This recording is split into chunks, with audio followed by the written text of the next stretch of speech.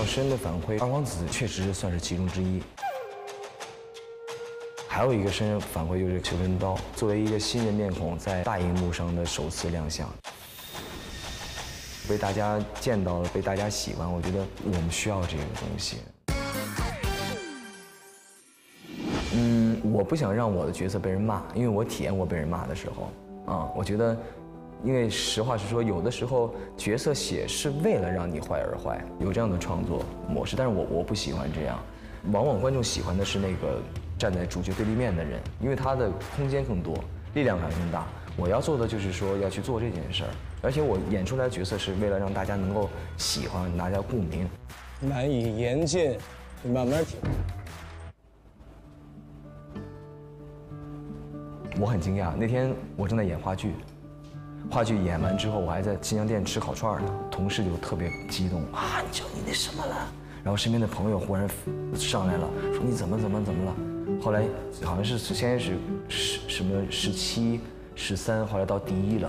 我我我人特别淡定，我特别淡定。我说咱们不要太高兴，因为你高兴太多，摔的时候容易疼，用保持一个正常的样子，别太激动就好。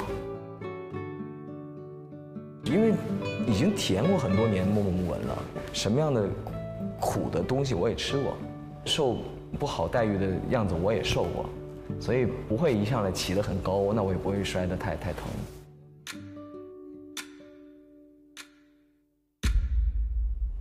嗯。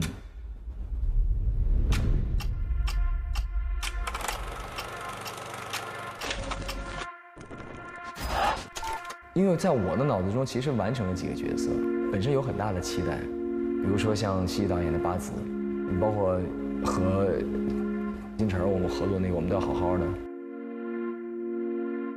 最后的期待都是落空，所以就是慢慢让自己不要去期待什么，你就是顺着逻辑去做好你的事儿，做到够极致或者做到够好的时候，上天眷顾你的好运到你身边的时候，自然而然就会形成。就像《庆余年》一样，大家没有人会觉得。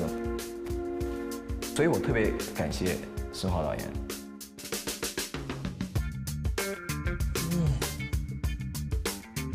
我都没有想到会剪进去，即兴就这么拍了，一回头特别下意识的就哇坐来了，就现在的第二季里面可能也会有很多非常随性不好说的东西，希望能够剪进去，然后被观众朋友喜欢啊。人是需要低谷的。因为当你低谷的时候，你能感受到什么叫真正的压力和真正的某些人情冷暖。在逆境的时候，你会非常敏感。大学毕业那会儿，然后之后到可能二七八的时候，当时要去给我们剧院演一场话剧，其实就是一个小兵上场五分钟，跑到成都要去演出。然后头天呢，大夫告诉我说，你不能够坐飞机，也不能大声的喊。要不然的话，你这个就肯定治不好了。我就问我妈，我说怎么办？我妈说你去吧，救场如救火。最后是聋了一只，就是突发性的聋了一只。左耳的就高频没有，二十四小时都耳鸣，一直现在，而且现在上升到但凡一有哭戏、激情戏，脑门就啪就跟炸了一样。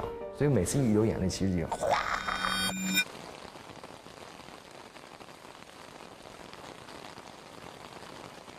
你要让我说值不值啊？我后来其实也是这么跟我妈打趣儿的。我说这个耳朵坏了之后，忽然视野变好了。你要说值不值，我其实我作为自己来说，我觉得不值，因为你的身边会有很多心疼你、爱你的人。我觉得敬业不是傻敬业，多去了解自己所在的行业，人与人，事与事。当你的经验够足的时候，你就不会再去做傻敬业的事儿了。